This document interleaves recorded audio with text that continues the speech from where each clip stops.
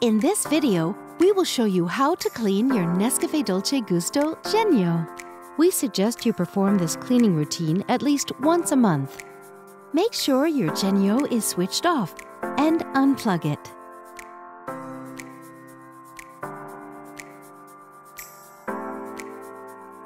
Rinse the water tank with drinking water. Then refill it with drinking water and reinsert it.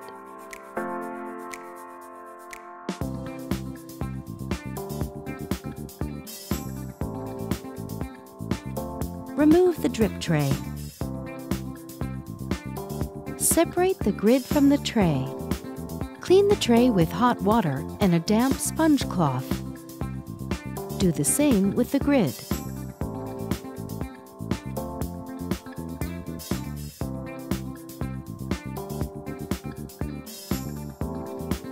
Lift the locking handle. Remove the capsule holder. Rinse it with drinking water or pop it in the dishwasher. Be careful of the water injector.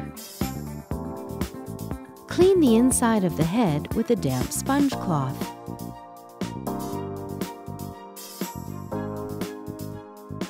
Take the rinsing tool. It helps drive the water flow during the rinsing process. If you don't have it, don't worry. You can still rinse Genio. Push down the locking handle. Use a container to collect the water. Plug in your Genio and switch it on. While Genio warms up, the power button blinks red. When the machine is ready, the power button turns green. Select the seventh bar with the selection lever.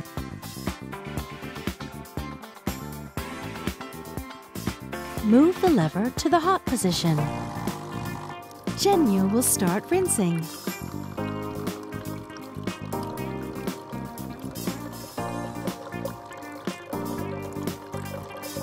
Once the water flow has stopped, the lever automatically returns to the stop position and the power button blinks red.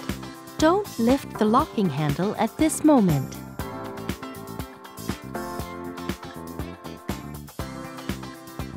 Remove the container. The drip tray back.